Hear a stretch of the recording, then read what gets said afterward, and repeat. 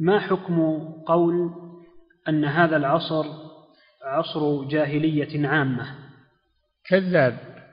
بعد بعثة النبي صلى الله عليه وسلم زالت الجاهلية العامة. الحمد لله الإسلام موجود والقرآن والسنة موجودان لسنا في جاهلية عامة. إنما قد يكون هناك جاهلية في بعض الأشخاص أو بعض القبائل هذا موجود. نعم.